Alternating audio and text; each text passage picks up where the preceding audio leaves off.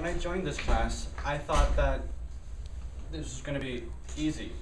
I'd taken speech before in high school and I procrastinated a lot then. I'd wait till the day of it and write the, but we didn't have to do it the, to the extent of the stuff we have to do in this class.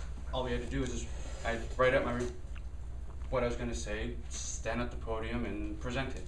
I didn't have to outline it, I didn't have to do any of that stuff. I figured it would be the same exact thing. Oh, I could wait till the last minute and type it up, it'd be easy and I, kinda like Tish, I only had three classes, I was like, cool.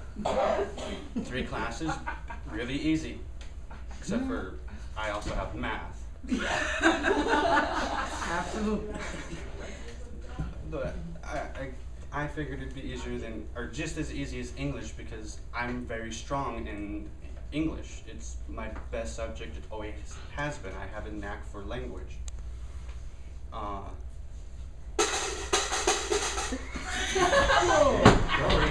Wow. Kind of like a Something I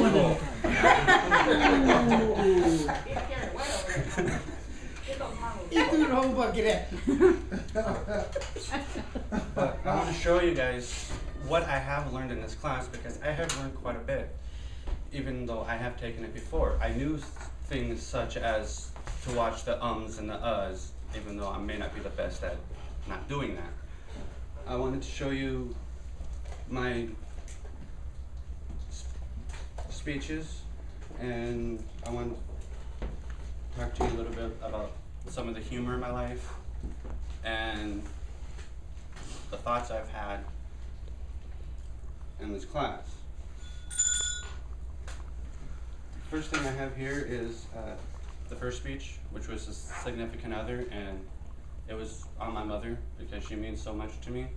And one of the things, I'm not sure if you guys have done it, but I go back now and I sit there and I think of things, oh, I could have done this or I could have done that to my speech to make it that much better.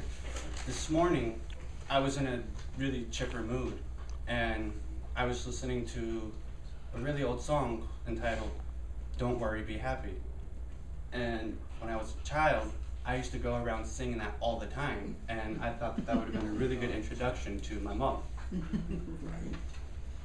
Uh, I got pretty good marks, I think.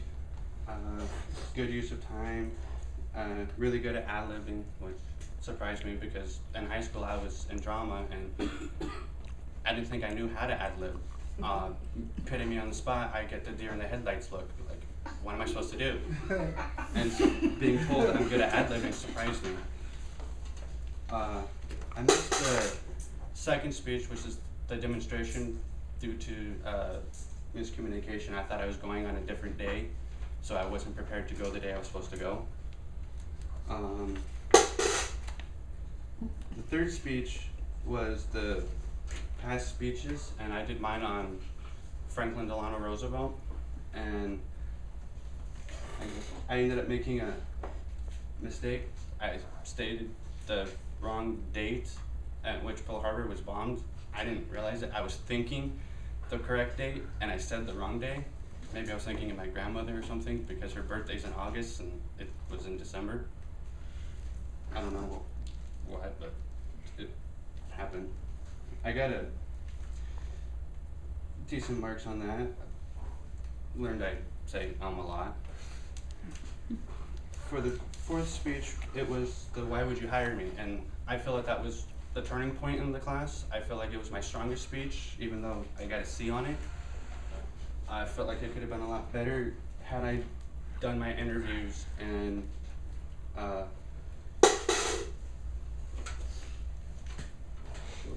had I done my interviews and I probably would have gotten a lot better grade. For the fifth speech was our live speech and I really liked that. It was really interesting. It was the first time I went to a political rally. It was the first time I went to any rallies, and I went to two of them. And it was really cool. Uh, the political rallies really interested me because I really like politics. I got into that in high school when I took my civics class. I had a teacher who presented the information and made it mean something. He, you know, because my generation has some of the lowest turnouts when it comes to voting, and he made sure that we knew that we needed to get out there and vote. We need to have our voice heard, and I think in some ways maybe that's why you have the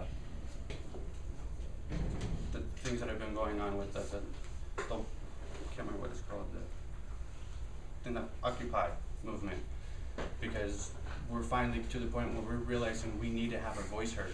And I think it's really cool. I'm even though I don't necessarily agree with some of the things maybe that they're saying, like that speaker who came in and said, it's everybody has a voice and so they're voicing everybody's voice. And when he presented that, I understood that and I was like, oh okay, that's cool.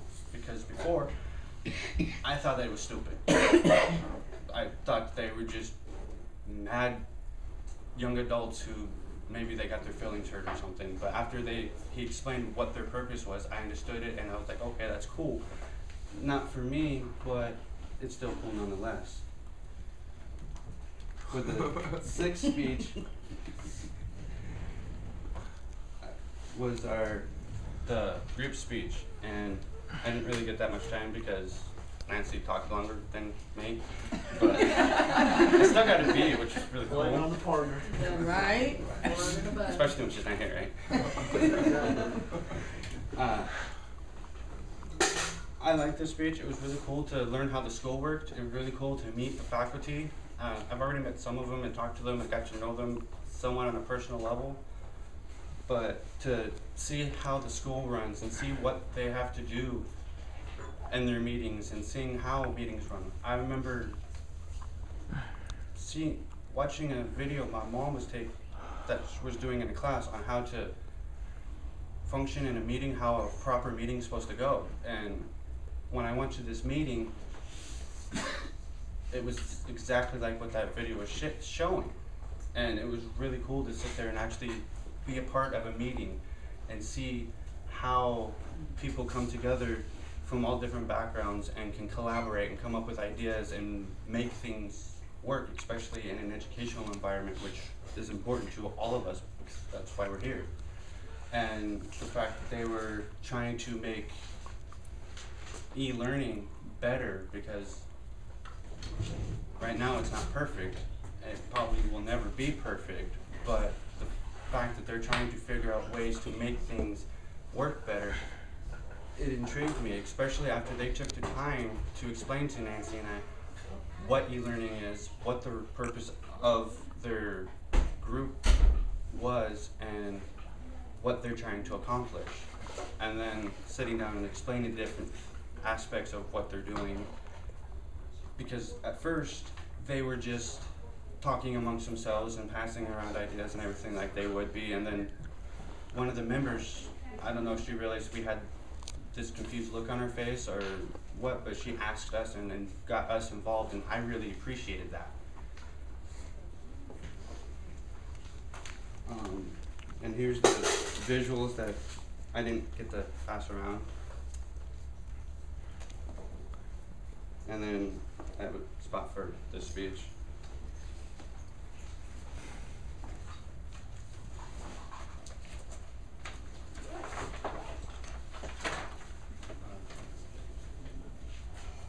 My thoughts more so pertain to school.